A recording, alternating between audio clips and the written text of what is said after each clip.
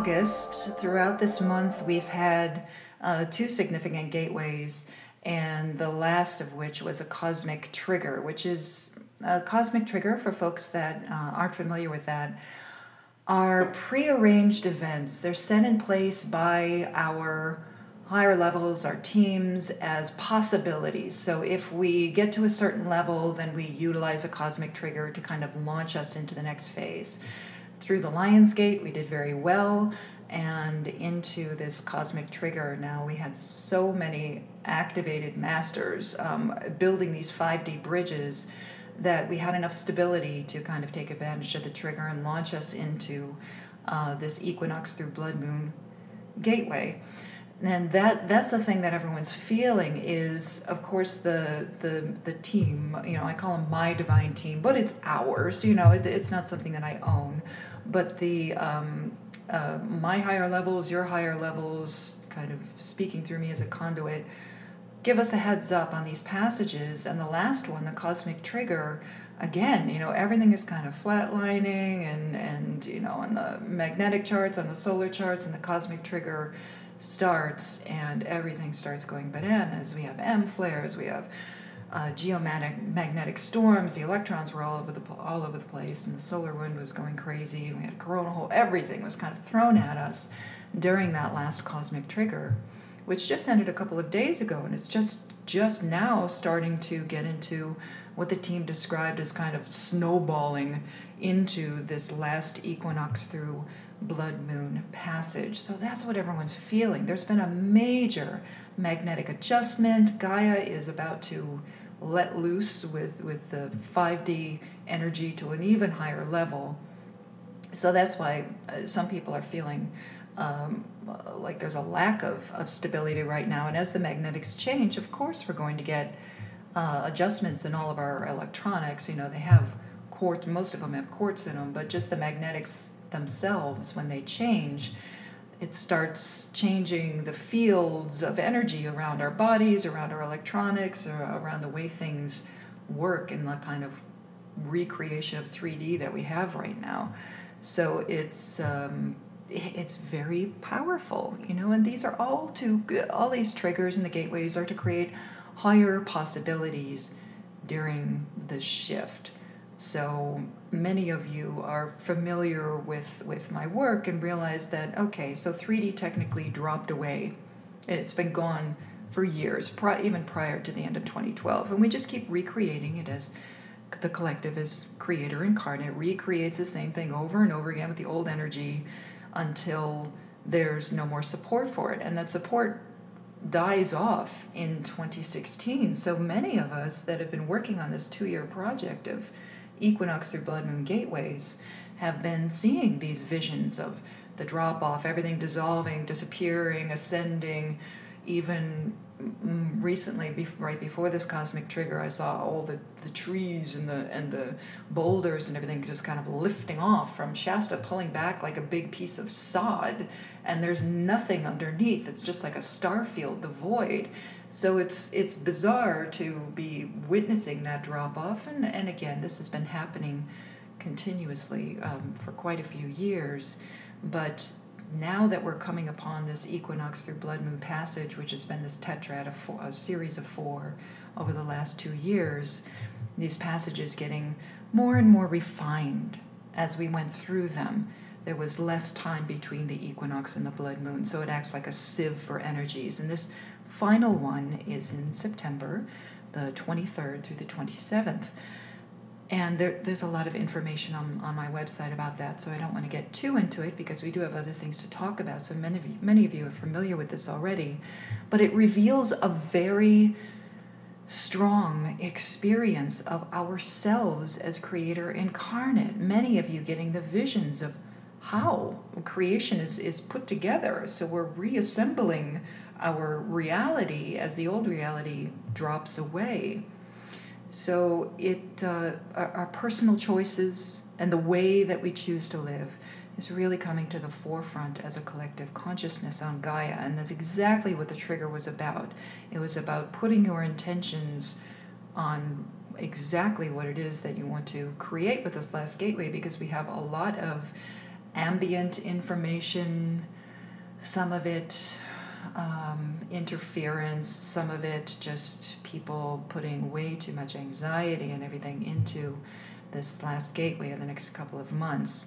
So if we can all just take you know take a step step back, take a step up, and get into the the higher state of consciousness when it comes to this final gateway, that would be very very complementary. It's been a powerful tetrad of revelations for most of us. That's why revelation type activity and dream state really picks up as we as we get the pull into these gateways, and that's that's been typical for me as well as many other um, many other people in the collective. So there's there's no waiting game. There's no bandwagon of oh wait until the energy changes me kind of thing. Um, a part of the point of engaging in the ascension process altogether is so that evolution doesn't just run right over you or drag you by the hair through the experience. And the cosmic trigger of August really set our personal intentions and our collective light server intentions on how this will play out and how we would like this last passage to serve our ascension. And it's it, it's not that you missed it if you um, you know missed the message do this work tonight. Get clear on what you want to create for yourself and for the collective. The energy is going to be very different next year. It's this last phase for support of recreating 3D, so a lot of things are crumbling. This is much more apparent to the high vibe tribe than the folks who are asleep or just newly awakened. And people tend to get anxious. Even light worker folks tend to get anxious as the energies rise. They get very excited, they get very stimulated, or they get off center. Breathe and release all the doubts of your own power to create divine love right here, right now, in our efforts to merge our consciousness and the collective service of ascension. I welcome everyone to take a nice creator breath right here, right now, and let's just neutralize all of the the past intentions, the future intentions, and just get right into the present. And for those of you who are unfamiliar with creator breath, stick your hands out wide. And you, as creator incarnate, are going to use your heart center to just neutralize, divinitize, and puritize all that is. So slowly move your hands and pull all that is, everything which has occurred on the planet, in the galaxy, with your own personal timelines, everything. Pull everything that is was, will be into your heart center. Letting your hands rest on your heart center and breathe the golden, crystalline, diamond, pure light that's within your heart center. That is where Source resides. Pull it all in and breathe as Source. Loving it, neutralizing all of the emotions and the attachments to it. Breathing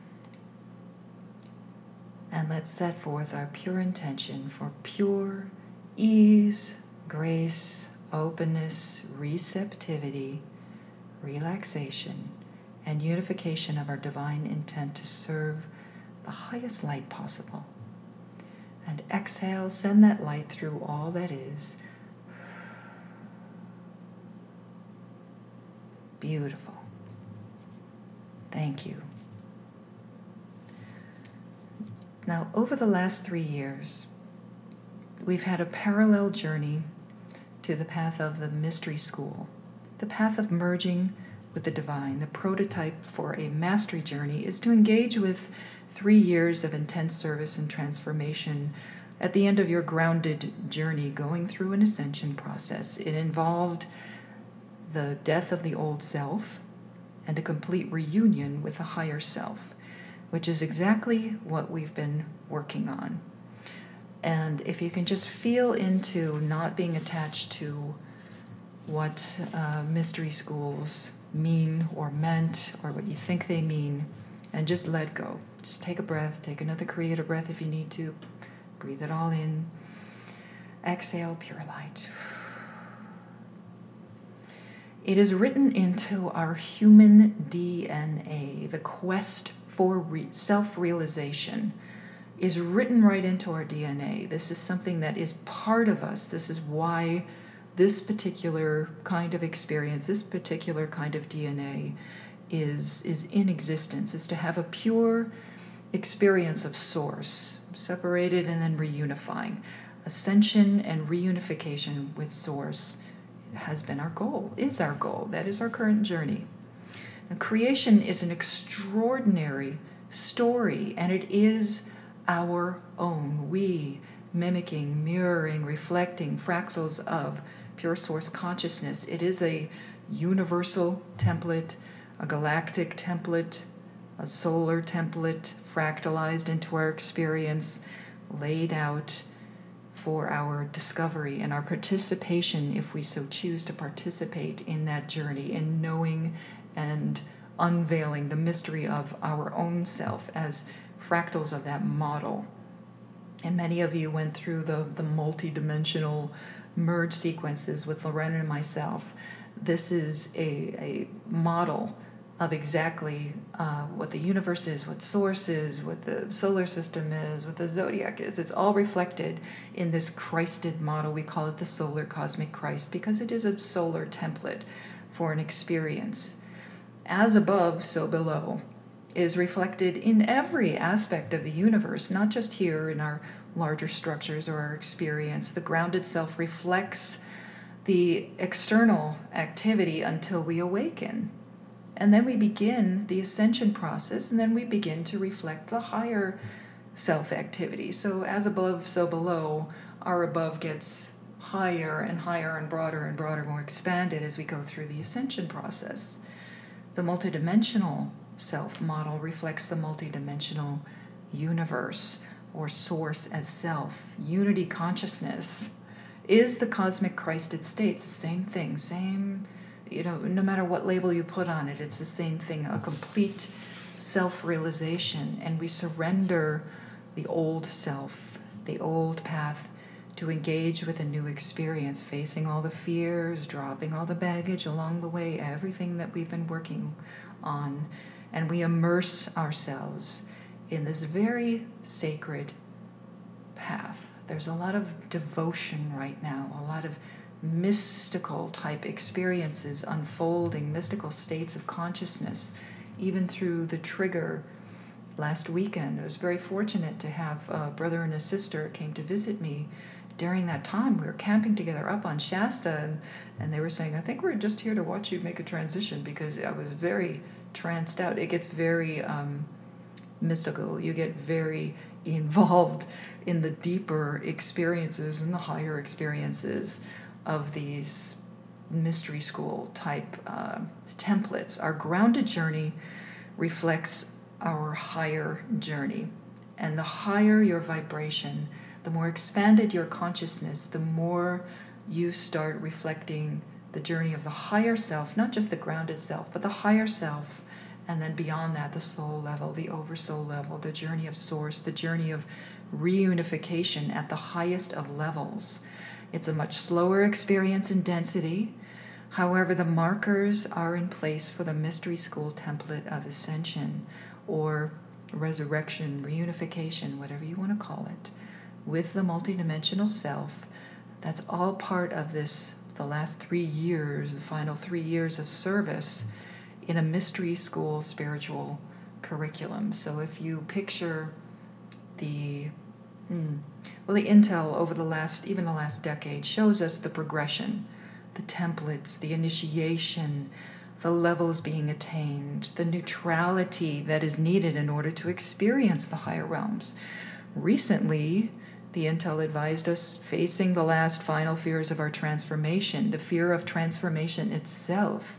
Our final choices during this August trigger are pure intention, the divine delineation to kind of step away, all of the initiations leading to this transformational step of our ascension.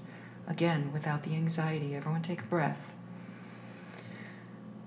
We prepare, we work at it, we hit tipping points, and collectively we engage with the cosmic templates Many are having this experience of this kind of slow motion resurrection unfolding this year, understanding the steps as they unfold, understanding the steps of the last couple of years through these gateways, as they unfold.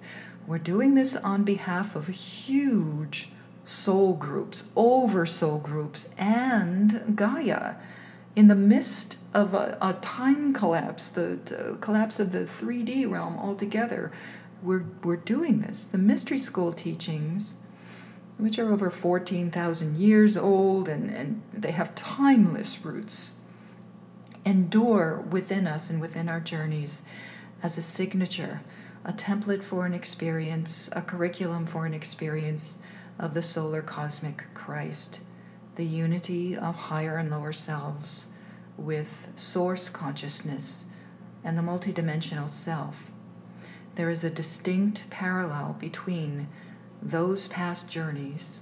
Those of you who've been through mystery schools, and, and there, there's not just one mystery school, there were hundreds all over the place those mystery schools, there's a, a, parallel between what we're experiencing now and what we've gone through in the past, or the cosmic templates, the spiritual curriculum that's been laid out in the past. Now that we're in with the, now we've added a dimensional shift on top of it, which is why everyone says we haven't done this before, because now we have a dimensional shift on the planet and a shift in the universe, which is changing the cosmic templates a shift in the galaxy, a shift in the solar templates. There is a lot going on.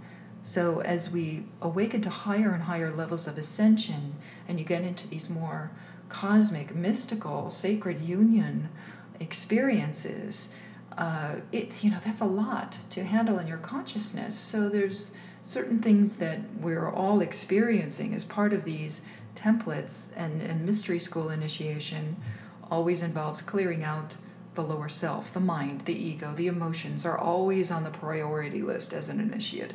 You go through different levels of clearing out the emotions so that the lower self is no longer in control, letting it go, letting it go. You hear about detachment and abandoning the past. That's all what it's about. You start taking on aspects of the higher and higher self. You have an understanding of the divine self, all the symbols of reuniting all the divine aspects, the same cosmic journey that we explore an ascension path, all of this. The, the solar cosmic Christ is, is reflected in everything around us, not just local nature, but in the larger galactic nature, solar system, zodiac, universal torus, torus fields, all of this, ascension column, all of this. And in the many legends of these teachings, everything was veiled and told through metaphor, allegory, symbols in order to share the core of the teachings without sharing the actual experience. And technically, we were not allowed to share the personal experience, hence the mystery title. And the final gate that was opened within by yourself, by oneself in a state of divine self realization, was your, your personal experience. Some of the stories of those who accomplished this, and there were many, were turned into religions. Sometimes the resurrection metaphors are taken very literally. Now that we're getting out of the brick and mortar 3D experience of everything being dense and literal and you know have to know and truth is set in stone, we move into the expansion of our consciousness and we take on the language of the universe the language of source, the language of light, which is metaphor and creativity and storytelling and all of these things symbolically representing different aspects of self. We're starting to parallel what we experienced in the mystery school, what we understood as the language of light, as the language of the universe, the language of source. All of these different aspects and dimensions and different journeys, all part of our ascension. We're not going to go off and seal ourselves up in a cave or a sarcophagus and or in the middle of you know um, ley lines or anything like that any longer. We don't have to do that, but we are having this global cosmic experience being anchored and played out in order to transform the consciousness of everyone on the planet, making it available for everyone on the planet. Now, recognizing uh, that the belief that this mystery school information has been hidden from us or unattainable, as if we had to wait for those secrets to be revealed, is false. not true. The high vibe tribe, those participating in the global project of ascension, did not wait. We're actually living it in the flesh, and this becomes very clear, especially during these equinox or blood moon gateways where that has been revelation. Revelation is not a, a point in time, it's a process. It's, it's this energy coming onto the planet supporting what we're doing. And the more that we engage with it, the higher, the more the high vibe tribe, the, the true way showers and, and leaders and, and folks on the forefront, the higher we expand into that energy, the more is available for the collective. So it's we're living it. We're living it in the flesh and the day to day experience through our ascension practices. And this is something that we're experiencing on behalf of the collective, also collectively. We don't need instructions on how to use the, the granite tomb any longer. It was a method mimicking the cosmic reunion of Source as self, the ascension, which we recreate in unique ways now that the shift in consciousness and the dimensional shift, the ascension, is underway. We're not limited any longer. We're wide open for creative action, experimentation, creation, participation. It's just, it's absolutely beautiful what is unfolding. Now, I, as a gatekeeper, where uh, true gatekeepers are instructed to keep a lot of what we see to ourselves. Not everything needs to be shared or has value for the tribe in the moment. Uh, that itself is a parallel to the mystery schools. Not everything has to be shared because part of honoring people's journeys is the fact that they get to experiment and discover things on their own. You know, it's not like uh, it's not red pill or, or blue pill. You got to make the discovery on your own that in itself is a parallel to the mystery schools, where some experiences are kept in trust. And as they were applicable to the personal journey, they unfold. But they, when you share personal things, sometimes they get misinterpreted, sometimes they were used to create religions. You know, there had a lot of conflict and, and uh, uncomplimentary interests uh, going on in the past if these things were shared. But I went back to my gatekeeper journal and was guided to. Um, my gatekeeper journal is personal notes on revelations and visions and things that the mountain teaches me um, because I am on, on mission in Shasta uh, through the end of the year. And it's things that show up in the gateways, things that happen at a galactic level as we go through this. And now that my per- personal journey has reflected so many of the steps in the mystery schools, and the symbols of it, uh, I felt it was time to share this before the final equinox through Blood Moon Gateway, which is very powerful. You can already feel that everyone's wondering what's going on, and we've been saying this is all going to snowball into the equinox. You know, there are no dates for September. Everything is now one moment to the next, being and and we're breathing and creating stability for everyone within and without uh, as we go through this. But uh, the the personal gatekeeper notes may serve some people's journeys to recognize, oh, we're doing this all over again. We're doing this in a, in a different way, but it's still mimicking the cosmic template of what we discovered in previous journeys over the last, you know, 10,000 years or so, the how to merge and embody the Christed state. And when I began to take notes on the similarities, the list became very, very long. So, what I've done is pull out a few of the stronger synchronicities, which are similar to the mystery school path. These parallels present naturally as we study and participate in ascension. It's not something that was that he had any idea what was what was going on before it happens you know? And that's the the beauty of being a conduit is you you yes there's information for the tribe and direction on where to go and what to do and everything but you're also having the personal experience and all of a sudden you know the the equinox or blood moon gateways hit and there's very grandiose aha moments. And for those of you who have vision the visions are getting very uh, grandiose, very beautiful, very mastery realm. Everything's gold and crystalline cities and real. It's just really emerging. Um, it's absolutely beautiful.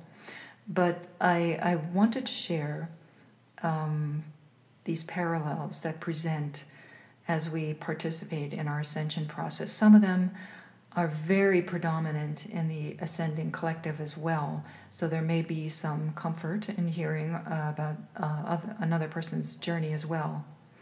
Um, so, Lauren, with your permission, I'd like to uh, kind of open up to um, some some of the more significant parallels that we have with us in our current modern day ascension and the the kind of curriculum that we have in a mystery school and kind of link those together. It's not things that people have to engage with. Again, really detach from from any kind of oh my gosh, I have to do that or whatever. It's you and your interpretation of what you would like to experience, and it's it's not the old school way of you have to do it this way and there's a protocol, etc.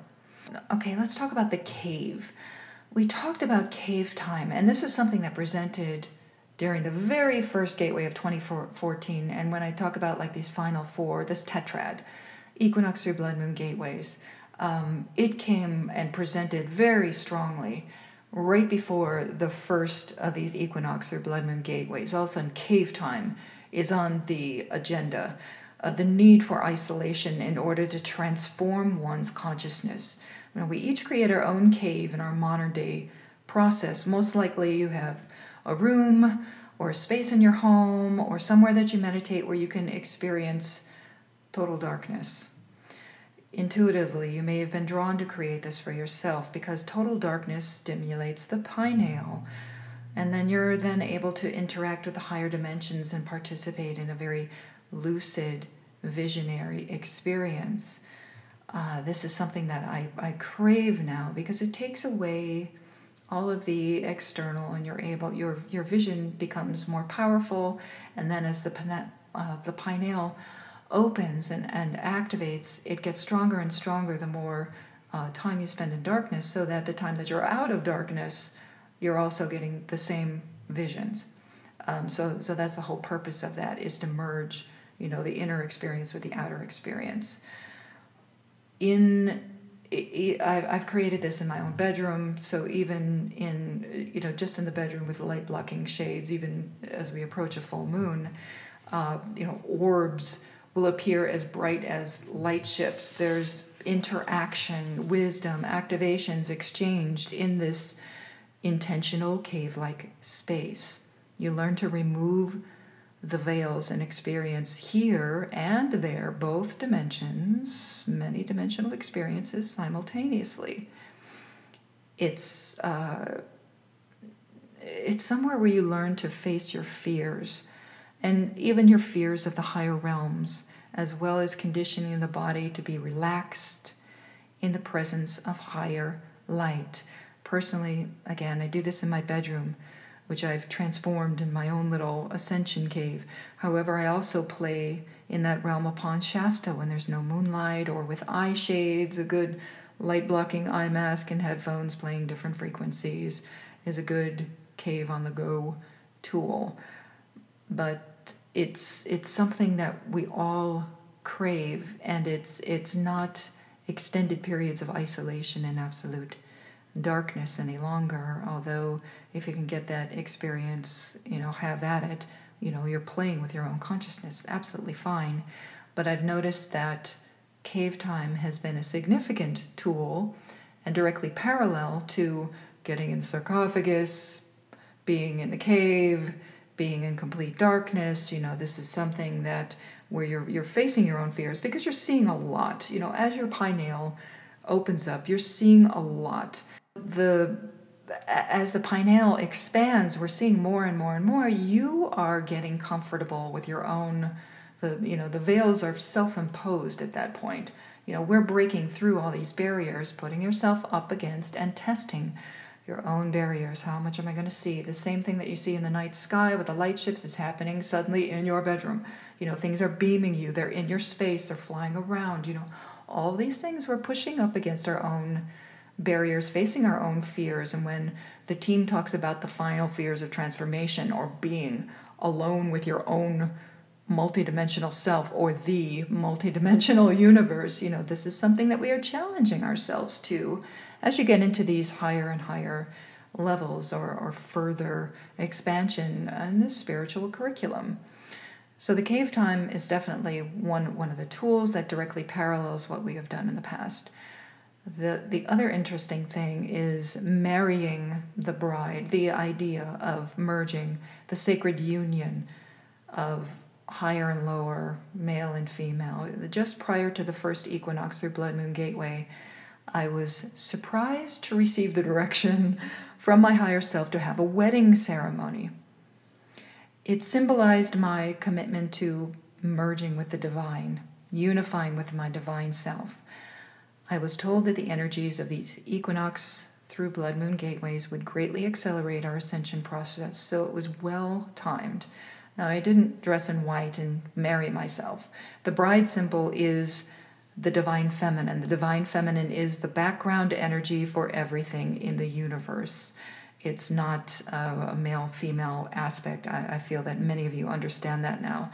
The masculine is everything that's created, the activity birthed forth from that energy. Divine feminine being the background energy, the pure source energy for everything.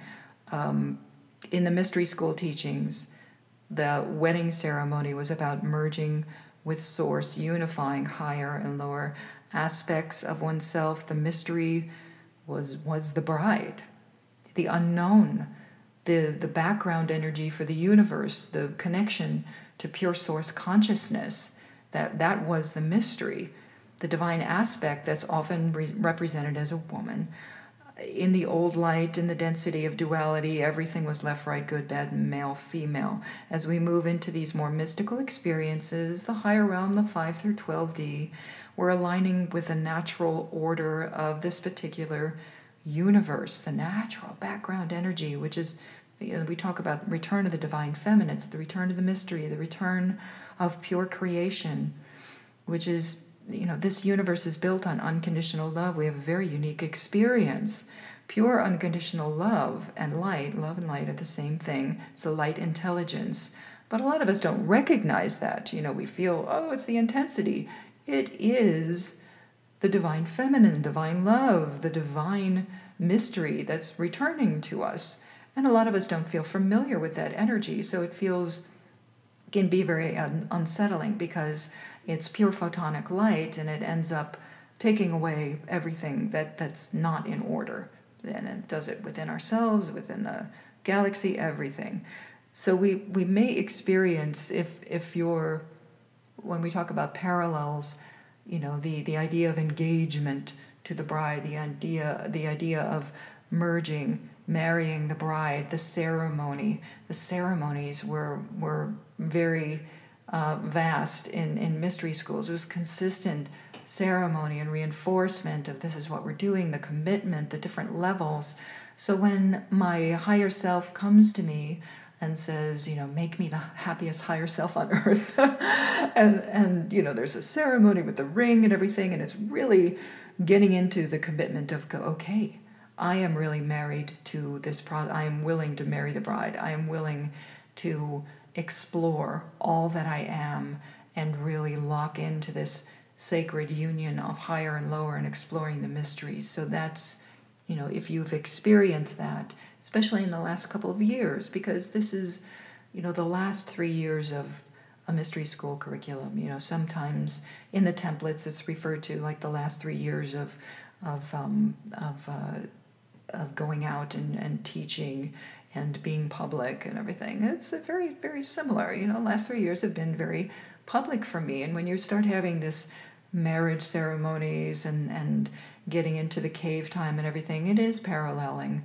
what a mystery school curriculum would be like. And again, it's on behalf of highest interests of all concerned instead of just a personal experience. Yes, it's personal, but it's also reflecting our collective experience, many of us acting on behalf of everyone in order to make it available to everyone. Now, in April, just this year, granted, all the gateways had, had revelations, but at the end of April, I I was in a very lucid dream state in the middle of the night and experienced being sealed up in giant stone slabs. It was a large rectangular stone, huge, was dropped on top of where I was laying, and the sound and the impact of it echoed all around me, and suddenly the body was gone. It was this huge slam. And my first thought was, well, that I'm released from the body vehicle. That got rid of the body vehicle, and I had no sensation of the body vehicle, complete detachment. It didn't. I didn't panic, and nor uh, did I experience any kind of pain. It was a clean and clear departure from that state of beingness. My first impulse was to to visit the gateways over Shasta. So rather than an astral projection experience, and the, and this is kind of funny because I've experienced the same in flotation tanks. When you know you leave the body, it was the first thing that appears. Mount Shasta, you know, it's just really connected to the gateways. But rather than an astral projection experience leaving the body, the body's just gone, and it felt like pure consciousness. Now, after a while, I came back to the body, wondering if I could merge back into it, and I did. And I came back to waking consciousness and the, the, the tomb kind of disappeared, the stone disappeared. And since then, since that, it was a very strong experience.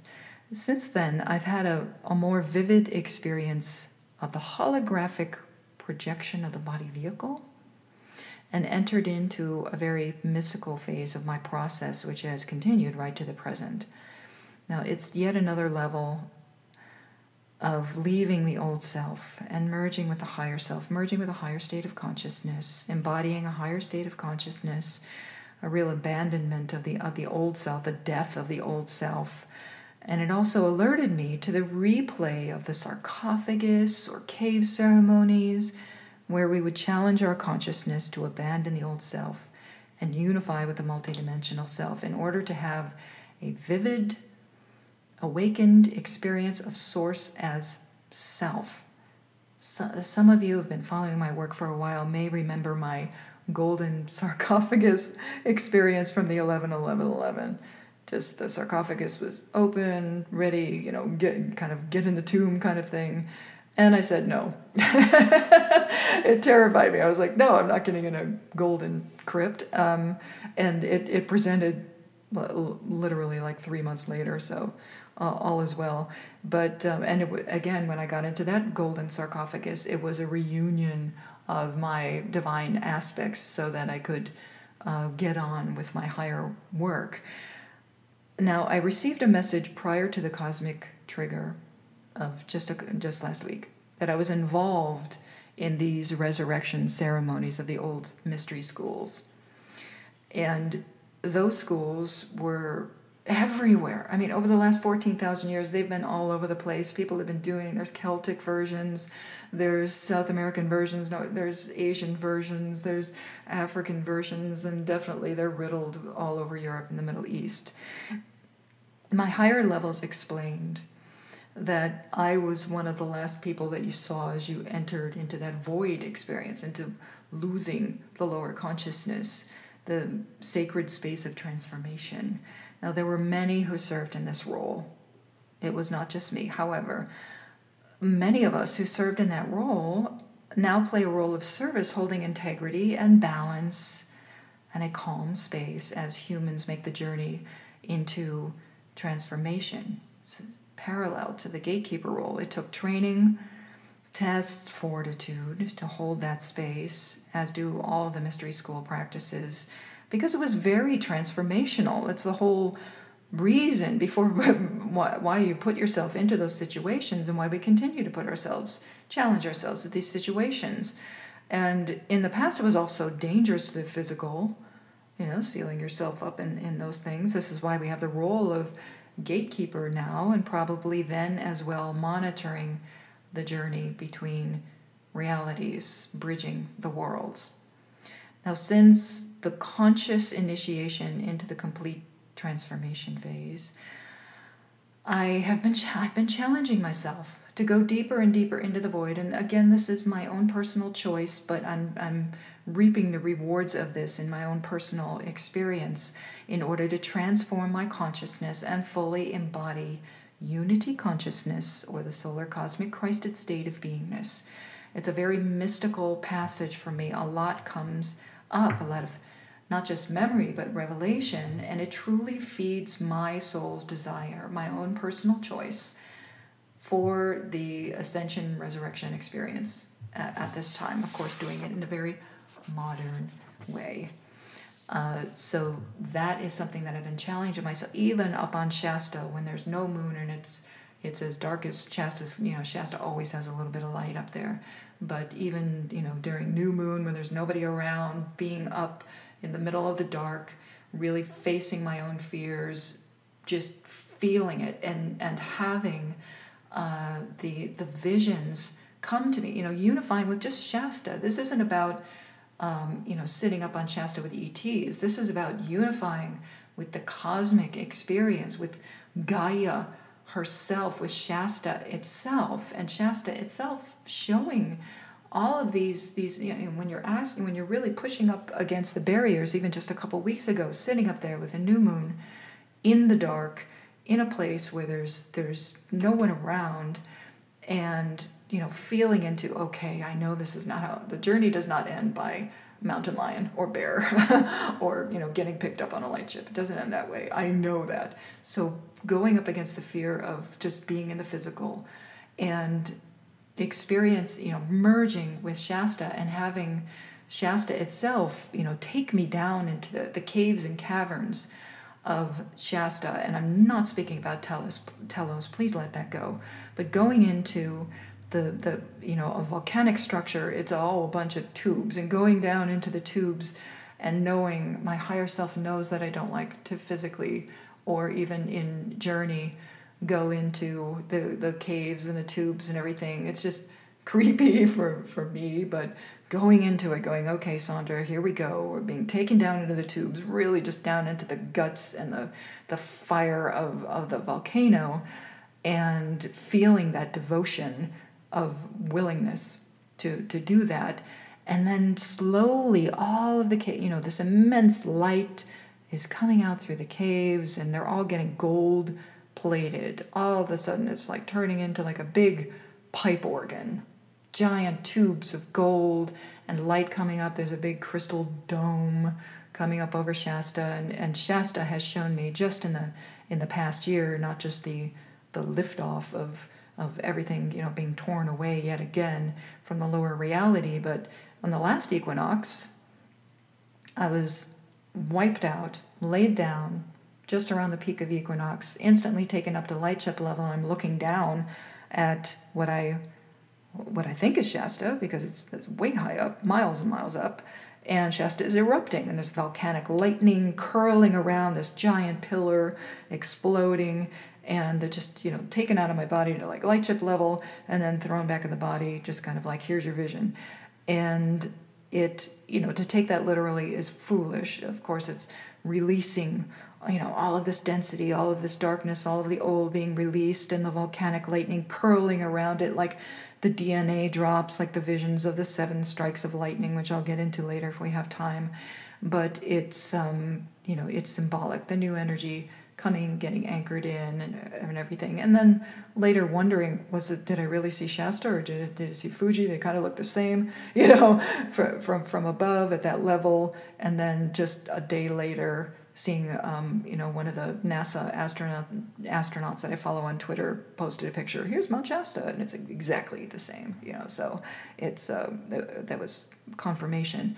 But all of these things, you know, you you you get into these visions, and it's it's something that people can get very attached to interpreting what does it mean what does it mean i have to know exactly what it means and oh my god is shasta going to erupt you know because the in the last weekend we had, you know, I spend a lot of time up top, you know, where we have access and everything.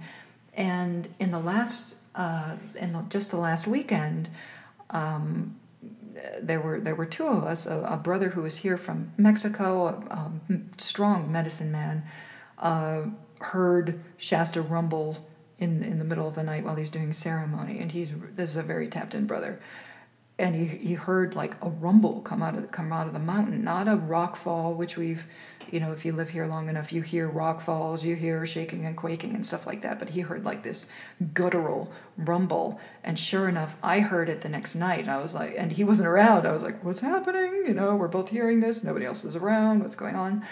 Um, and Shasta always feels a little unstable. You know, it's kind of like jello. The energy is is um, constantly moving and shifting, and especially if you're energetically connected to the gateways, feels a lot of things in place. So when we get magnetic shifts like we had during the cosmic trigger, of course, it's going to look like everything's going to shift.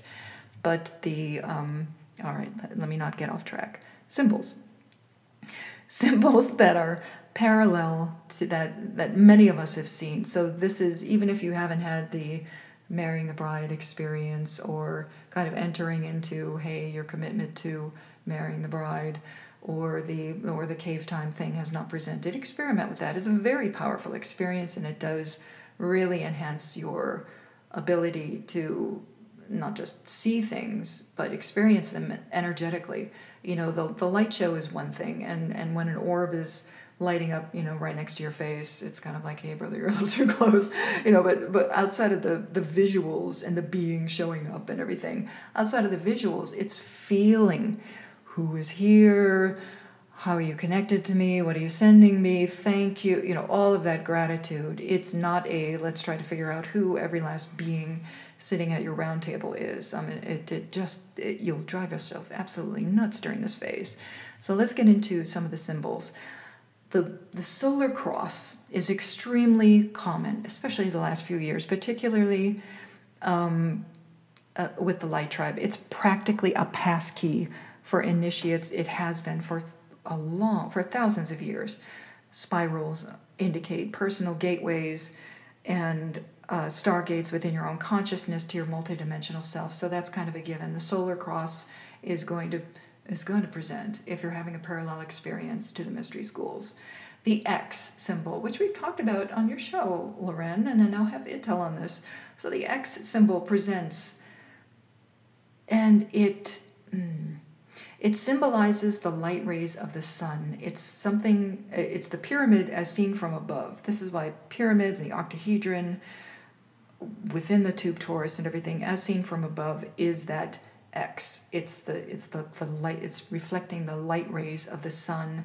And I even opened the entire ascension path with video that shot right into the sun. It's got the big X. You know, it's a big rainbow X showed up for us during that video. It was really pretty, but it's a frequent ascension resurrection symbol, as the pyramids were often used as ascension chambers, not tombs.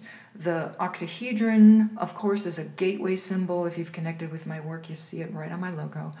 It's formed within the center of the Vesica Pisces, how the circles overlap. I won't get into the math of it right now. Um, but the, the X symbol might present. And sometimes when you've been seeing the solar cross for a while and all of a sudden you start seeing the X, you think something's gone wrong. Oh, I'm off. You know, that's not what's happening. It's actually seeing the, uh, the the pyramid you know the the sun's rays that's why they're built that way. It's a symbol. And and you do see that in ancient petroglyphs and stuff um, as well as in the mystery schools. Okay um, the sirian or egyptian and sometimes pleiadian river of light metaphor may present. You may see it. You may feel the watery sensation of 5D, the Vesica Pisces is your vessel, your little canoe or boat that you use to traverse the symbolic river Styx. Some of you remember that. The bridge between dimensions. It's experienced when you begin to merge with the divine flow, the feminine, the background energy for all that is. It may feel very watery, very fluid sensations as you move into 5D. You may feel that flowing through your body. You may get visions of, of the river. That's something else that's parallel to the mystery school. And of course, the, the Sirians um, uh, are re- responsible for the, for the Egyptian version of the mystery schools, pyramids, etc. Um, a lot of that came out of uh, from, from the Sirian experience.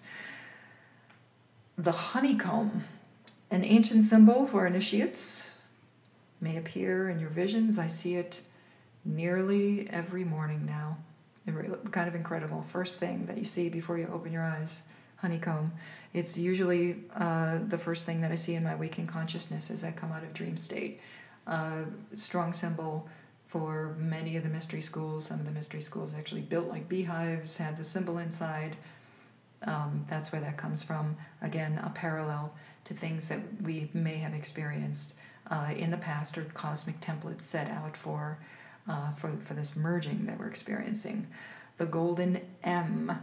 This has to do with the brotherhoods of light. During the last equinox through Blood Moon Gateway, I reconnected with the Melchizedek order and the brotherhoods of light, sometimes associated with the Pleiadian Arcturian lineage as well.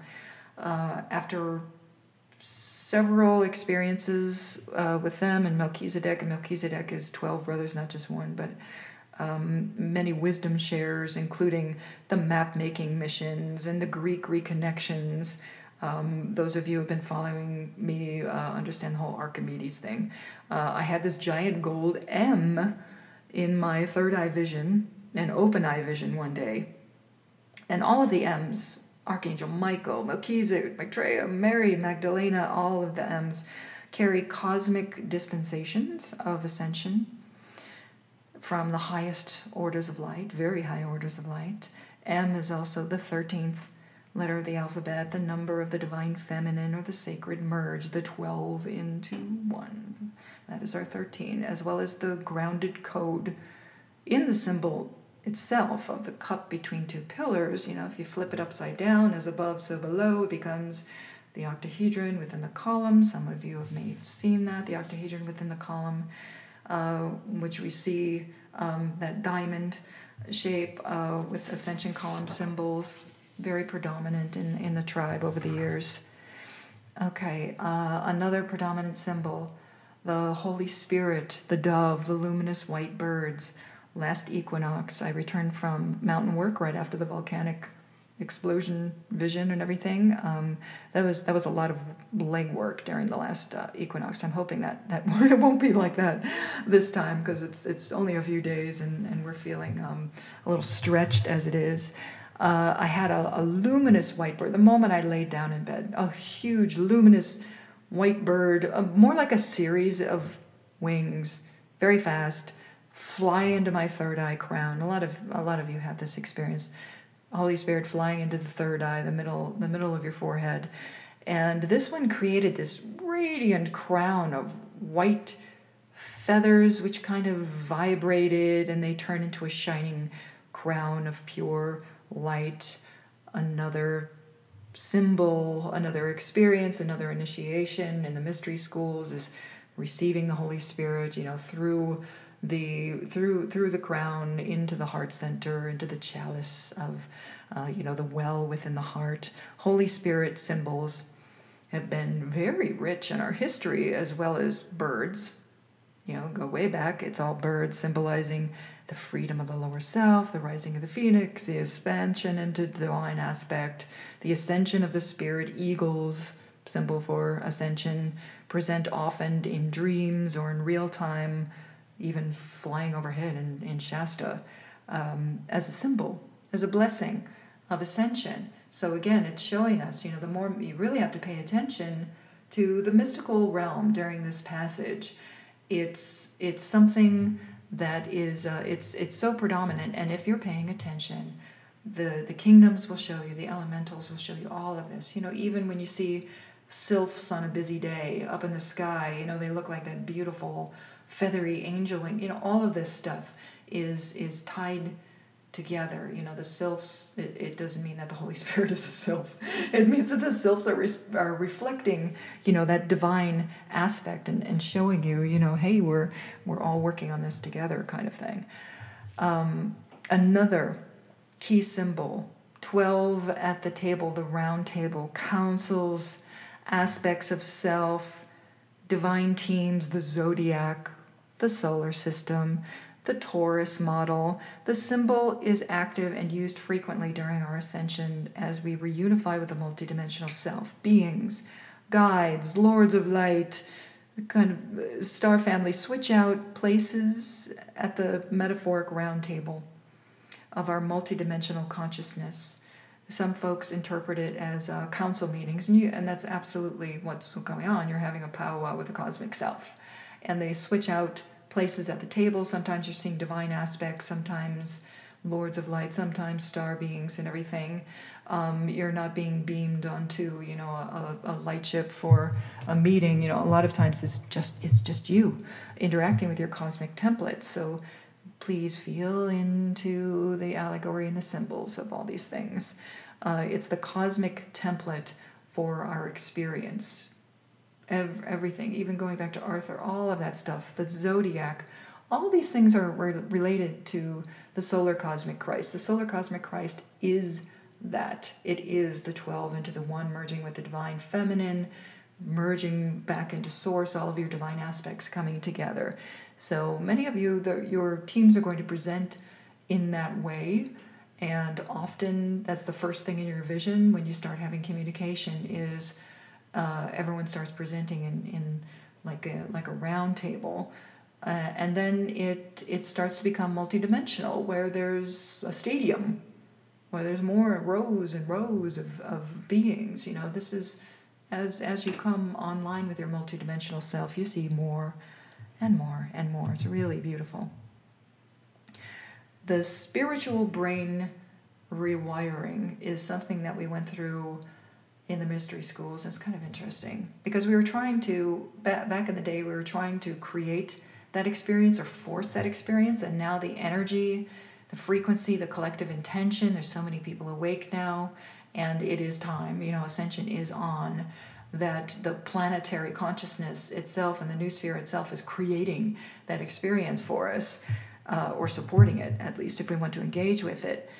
The, the spiritual brain, some of you experiencing uh, cranial expansion as well, um, and, and I am one of those, as, as you all know. Uh, the spiritual brain starts to create new neural pathways that support higher vision connection with the higher realms it can cause temporary interruption of communication skills. A lot of you people experiencing that. I can feel you going, yes. Uh, it's similar to the experience of the cave where kind of cut off grounded communication so that spiritual communication can take over. Um, we now notice this in our collective ascension process frequently. It's hard to speak, or it doesn't make sense to speak. You're, you're communicating telepathically and that's all you want to do, the brain throws focus back and forth onto the spiritual brain, onto the, the frontal frontal lobes, you know, back and forth until we're capable of experiencing both telepathic communication and a grounded new way of communicating as a conduit of the higher self as a merge of the higher and lower levels. So if you're experiencing that, it's not just the brain rewiring, there's an actual spiritual brain developing, parts of the brain that haven't been used in a long time. And the frequency of the planet itself and, and the cosmic rays, the bombardment of plasma and solar wind, and solar wind is plasma. It's the it's the bombardment that's forcing that to come online or just people get just lost in, in the confusing in, in the confusement of that. So if you're somebody who wants to engage with that, take take the time to to flip the switch and throw off the communication, the grounded communication. Just let the mind settle so that you can hear or experience the communion, the communion in the the, the you know sixth through eighth dimensional realm. Ninth dimensional is, is pure pure tele, tele uh, pure telepathy but the yeah here here we go okay so the communication starts becoming more of a communion with those higher realms so there's not a lot of speech involved. So if you're finding it difficult to communicate or you just don't want to some days honor it. You know this is this is your journey. You have to prioritize what's important to you right now. Okay uh, next symbol parallel gold. A lot of us don't have access to physical gold, but gold is a frequency upon which communion with Source is made. It's an etheric essence in our human DNA which allows for an interface with pure source consciousness that makes us unique. The golden race is the engagement with our reconnected 12 strand helix DNA, etherically reconnecting, not physical, the highest intent for our true human genome. That is, source consciousness can be accessed through gold. And physical gold was used in the past uh, as a, a grounded reflection or tool for interfacing with the higher realms, raising one's vibration to a higher state of consciousness. It vibrates in the fields of initiates. It's that unique DNA, the masters, higher beings, stargates, planets of spiritual connection, all of these things vibrate with that that um, level of gold, the, the ray of gold, the intention of gold, the frequency of gold. It creates a bridge to the heart of Hu, God source. Hu, again, meaning God source, human, God man. Initiates or people on the ascension path see gold in their visions. Uh, visitors are gold in their energy fields. People, you know, beings will appear as gold, mastery realm, all gold, very fancy, gold. Uh, as you level up, you see more and more gold. That's why it was so predominant in the pyramids in Egypt and in sacred structures, in temples. It's, it's the vibration that, that matches the vibration within the true human genome, which is carrying pure source vibration. So it's a connection and interface with source itself. The ascension column, brilliance, lighting up, pure diamond light, pure gold light, you'll see it. Um, and, and that's another thing that's similar with the mystery schools is this ascension column lighting up with, with a lot of light lately and you're going to see it flashing streams of light. Again the flow the river of light. This is the tube within the tube torus, all of your multidimensional self within torus fields, and when they unify and they lock together, your ascension column locks on, and you start getting the streaming effect, the river Styx, whatever you want to call it. All of these symbols mean the same thing. It's the reunification with pure source light. Another parallel, and oh, we have time for like what, one more? Completion. That's a good one to end on you know it's the dis- decision of source and the cosmos and the galaxy, solar system, Gaia, all of us to have this experience. And we've completely dropped all of the timelines that lead to other paths. So here we go. Or our, our own Akasha, old Akasha, is being deleted to complement a higher now, higher future timelines, possibilities when we create higher and higher future possibilities, our past gets rewritten to complement a divine and different future outcome. So we're rewriting the past as we move into higher and higher states of consciousness in our future.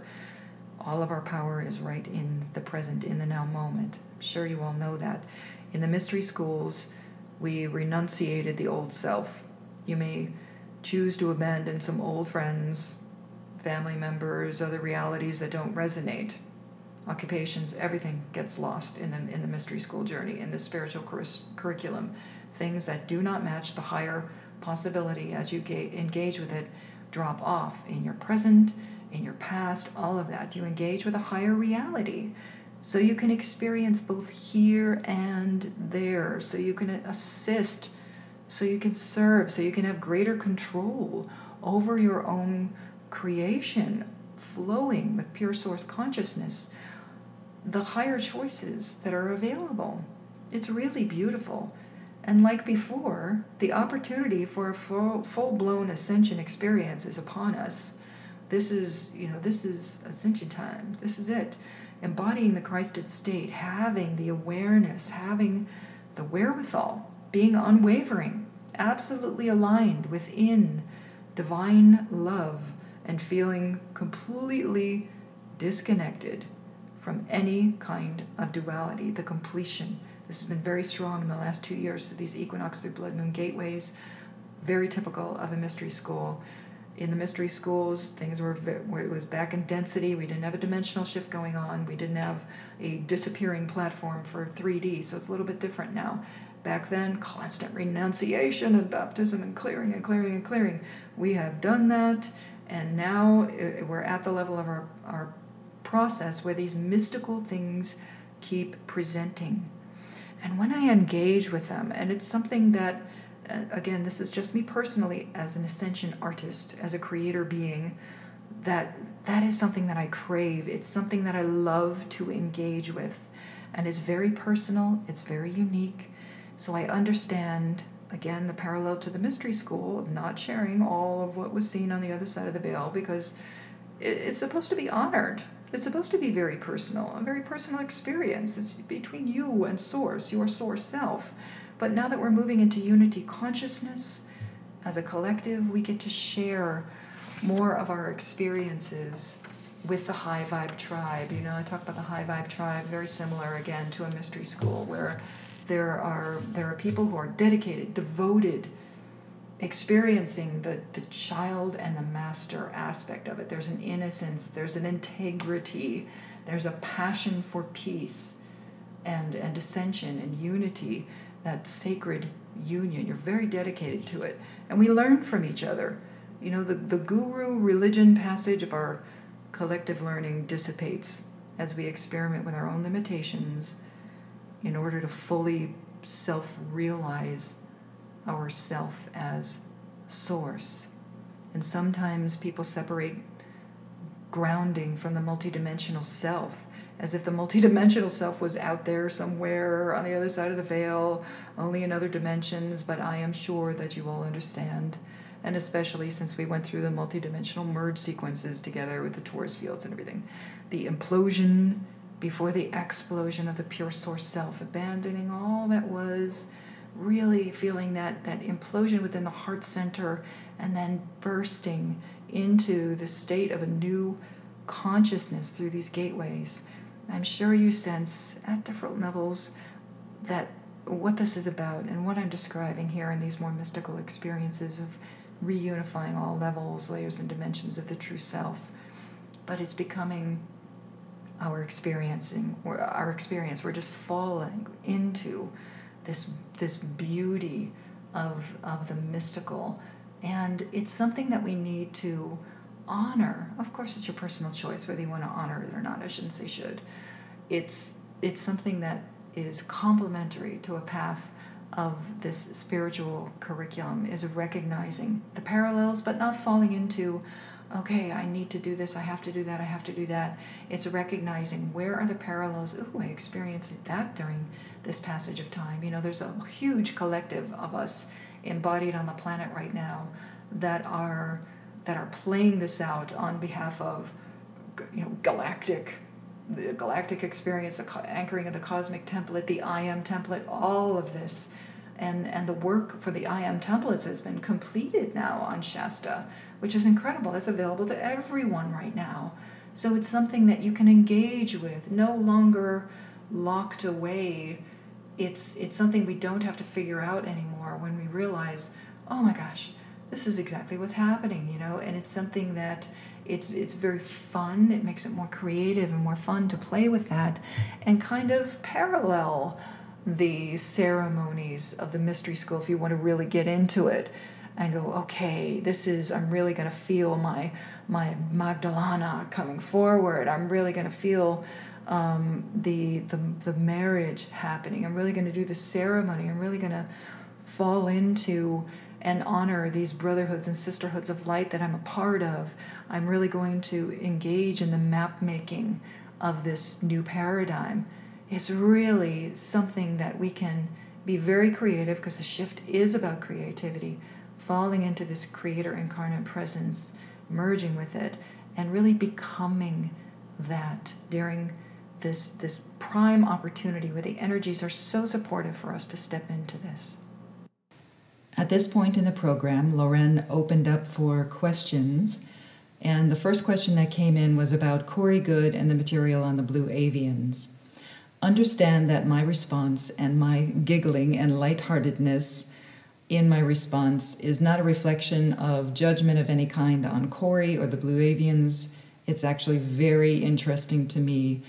I'm merely giggling because after an hour and a half of talking about pure ascension and mystery school and not engaging with external material as we go into this equinox gateway, that the first question comes up is exactly about that. So please don't misinterpret my initial response, and I'm sure as the response to the question unfolds, you'll find very interesting parallels in our experience. Thank you.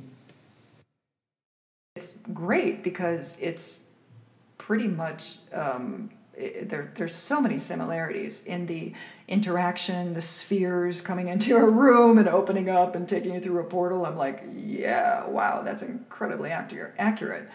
Um, if if anything, it will be. Uh, great for people who have been kind of treating orbs like they're just like little fairy beings showing up in your room. But if you're getting like the full on sphere experience, like it does look like uh, you know, we say orbs, but it's round. You know, it has, it's not like a 3D flat thing that shows up like a dust speck on a camera with, with a flash bulb or something like that. You know, it, it, we're talking about like a light chip showing up in your room, like a little ball of light showing up, and they're different colors. So any attachment to like, uh, blue, it must be Sirian, silver, it must be Pleiadian, red, it must be this, but that, just drop it altogether. Um, m- many of mine are gold, but it is that experience of, you know, they present, start coming in the room, shine through, just like seeing a light ship in the sky, the beam experience, only it's happening, uh, you know, feet from your body, you know, and uh, it it lights up and then it, it turns into a stargate and all of a sudden you're having a communication. You know, all of a sudden there's a being there. Or all of a sudden you're having an experience in, in a different realm. Incredibly accurate. So it's great that people are getting exposed to that material that otherwise are, are not following an ascension. I, you know, one of these days, you know, I, I think I said it in the last article, one of these days, you know, science and the, the secret government guys and, and the metaphysical folks that have been like serving as conduits and everything, we're, we're, we're all going to, you know, sit down and, and, and not just compare notes, but work together to kind of get everyone up to speed with, with the ascension process because even though it, it and, and I'm not sure how they're structured, but sometimes it's like a whole sharing of drama, and then the last word is, but it's all about love. You know, I, I feel that we should start with, we should begin with, open your heart, open your mind, don't attach to anything. Some of that material, some of those experiences, even, were very. Um, are, are done over. It's like 20 years. I don't know. I, I'm not entirely familiar with it but it's it's a couple decades old or whatever. So it's just it's like somebody walking into David Icke material today and thinking that the whole planet is run by reptilians. They're gone, you know. It's like oh, old news, you know. It's this is us humans. Yes, some people need to be walking hand in hand through the secret government passage. That's a level of awakening. There's some people who, uh, you know, awake to light and they, they go through that. Some people awake to ascension flying through it right now. You know, hundreds and hundreds of different races and different beings. And those of you who have vision, who are, I, I tend to stare when I first meet a being from, that I have not encountered before. So when you see something that's very bizarre, um, I, I tend to stare and apologize at the same time. I'm sorry, I've never seen anything like you before. Where are you from? You know, what, what are you kind of thing. Um, it, so it's really, it's, it's very interesting that people are getting exposed to this prior to the equinox. Let's all put on our higher perspective hats. You know, the stuff started coming out before the Lion's Gate, Lion's Gate leading to the cosmic trigger, cosmic trigger opening the floodgates for the equinox. That energy is already coming onto the planet. That's why this stuff is happening right now. And I'm sure David is is in his glory right now.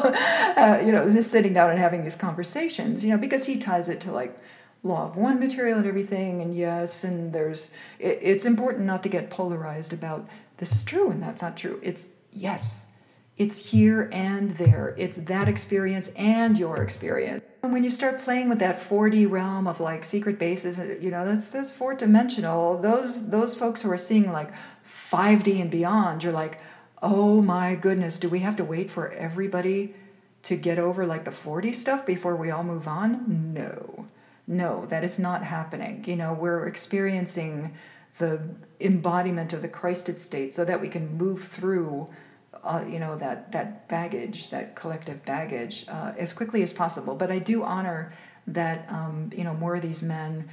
Gosh, I'd love to see a woman um, stepping forward to share their experiences. It would be great if they said, "This was 20 years ago. You know, this was you know this is old information. This is what we you know." And the idea of us suddenly transforming into this Star Trek technology with like um, you know I don't want to eat anything that's been made in a replicator. That's not my journey. I'm just like, no, I'll leave. I, I don't want I don't want the the Star Trekky experience. You know, you already have that on the lightship level where it's like, gosh, it's all like technology, and I understand that you know there is light technology, but the but the kind of brick and mortar metal stuff, I'm just like, I don't want anything to do with it. And please, you know, if this leads into some kind of metallic lightship spaceship thing, everybody just use your discernment if if that's where that's leading. Just keep your higher perspective well the energy is you know we are uh, like we've been saying for for years what was it 2010 the energies are being monitored we there's a full blown photonic light blast available but it's being monitored and not just by blue wave i mean don't think that the sphere alliance is it there are thousands you know of, different entities and deities and beings and races and, and galactics and everything monitoring our progress. You know, it is an experience. You know, we're the ones down in the jar, but around us, there's millions of scientists going, "Okay, take it easy. You know, don't don't don't mess up the experiment."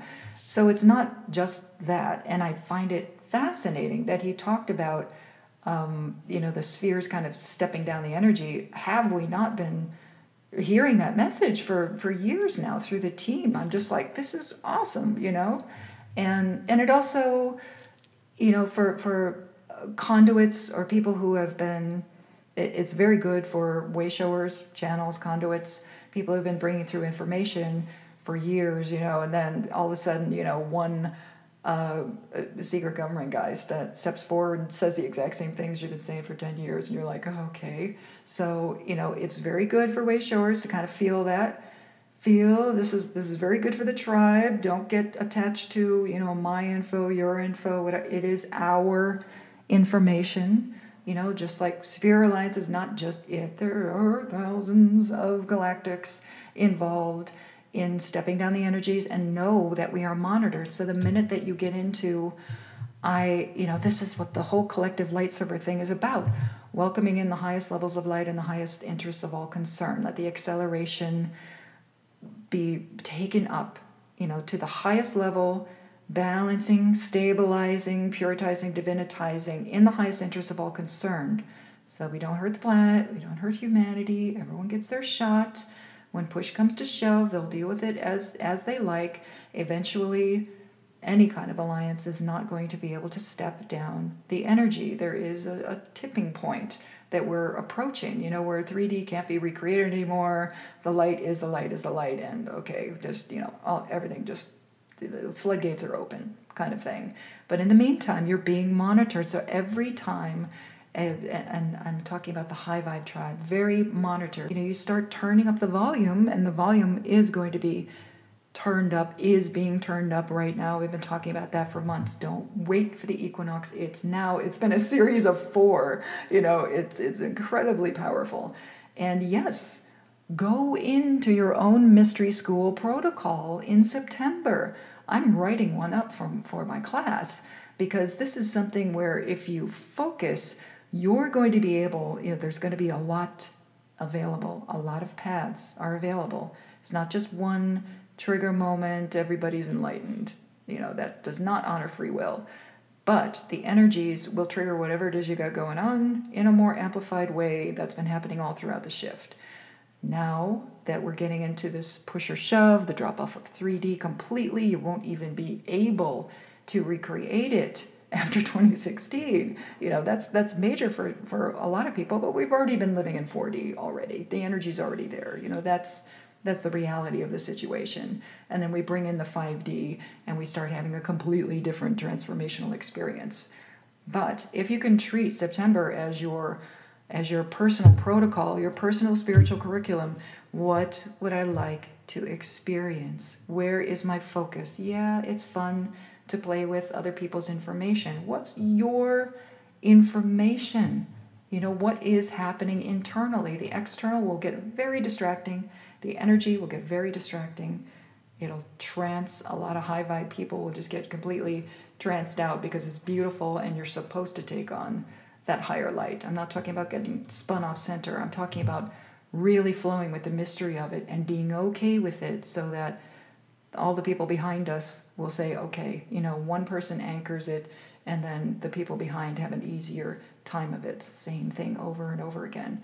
So, equinox, yeah, it, yes, it's going to be deeply transformational. Some people begging for reevaluation of currency, disclosure, and everything. And, you know, the messages have been saying, you know, since last year, last December, there was a big focus on star seeds and disclosure, kind of like, what do you think you're doing?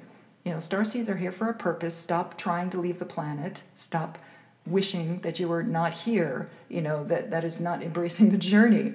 You know, you have the opportunity to become a divine human and unify all divine aspects of yourself, and that includes your Pleiadian self, your Sirian self, your Melchizedek's, everything.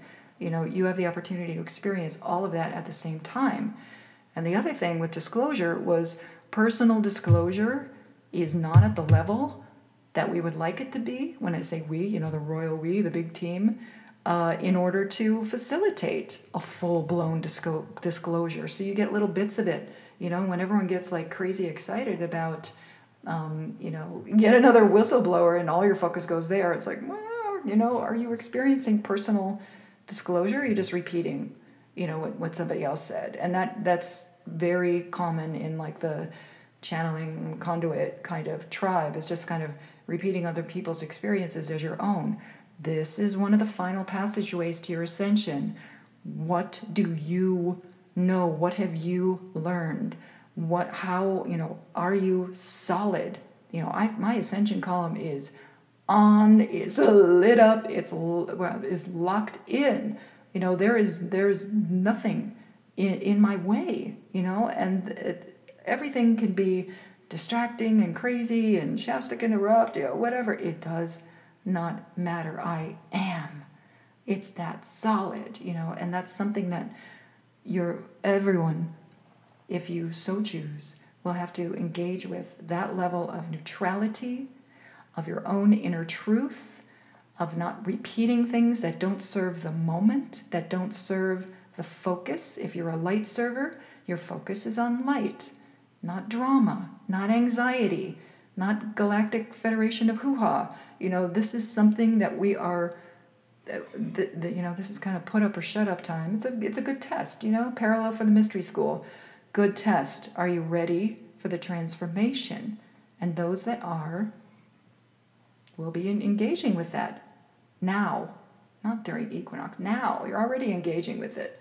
You know, I'm I'm entering one of those passages where there's going to be a very divine protocol happening in my personal life stream in order to completely support that, not just because personally I, I want that experience, because, but because it needs to be anchored on the planet in order for other people to have that experience. So, you know, in a typical cosmic template, okay, equinox, you know, you're receiving all that energy you know solstices come and and you know the the template is to go into the darkness around christmas and you know come come out transformed you know the the sun dipping down for three days and coming up it's the same thing that you recreate in, in an ascension chamber in a cave in a resurrection sarcophagus it's the same thing over and over again doesn't mean you have to wait for december it means that you're going through it now. It's a slow motion thing of us all participating in this cosmic template so that it's available, so it's getting anchored, so it's, I mean, th- this is it. It's inevitable. It's how quickly we want to go through these things. So when people start getting attached to information or triggered by drama or, oh, that's really interesting, it's really interesting, watch it and then let it go. Let it go, you know, because you're just going to end up kind of spinning with, with different ideas or assuming that the gold ball in your room is a blue avian or the blue ball in your room is a blue avian or whatever. It's not just that this is a vastly multidimensional experience. But pay attention. You know, if you if you're choosing an ascension path and you feel yourself getting pulled, come on back. You know, stay focused.